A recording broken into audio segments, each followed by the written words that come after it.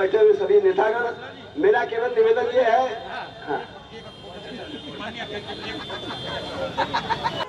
समाप्त किए जा रहे हैं जिससे हमारे तमाम मजदूर परिवार आज यहाँ पर हमारे इंटक के साथियों ने द्वारा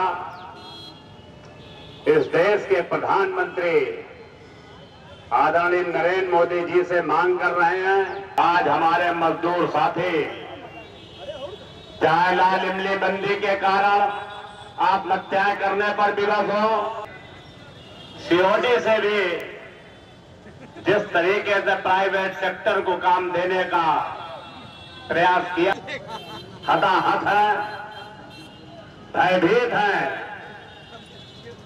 कि किसी भी समय उनकी रोजी रोटी छीनी जा सकती है और वो परिवार भी भूखमरी के शिकार हो सकते हैं। तो साथियों, उनकी रोजी रोटी की समस्याओं के निदान के लिए अगर सड़कों पर संघर्ष करना पड़ेगा, मृतक आश्रितों के बीच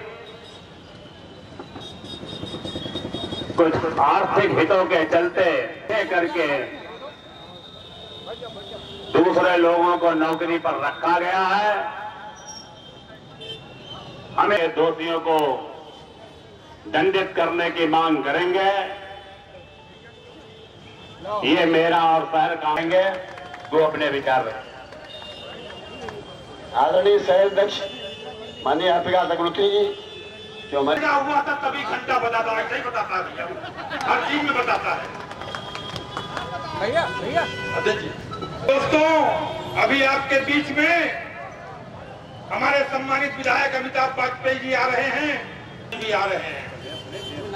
प्रदेश के रजरम करता हूँ साथियों को चीज़ें आपके संज्ञान में लाना चाहता हूँ।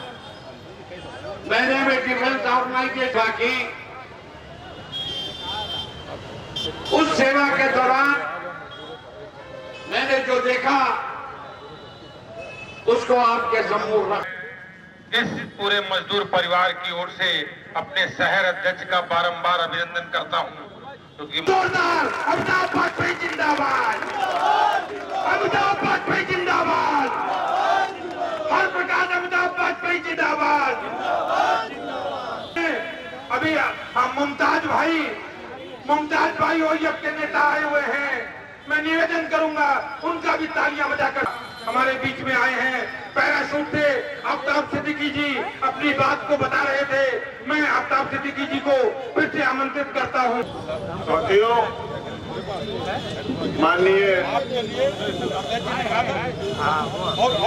अपने मन की बात बताते हुए कह रहे हैं कि जो कर्मचारी इस केंद्रीय संस्थानों में एक्सपायर हो जाते हैं सरकारी कर्मचारी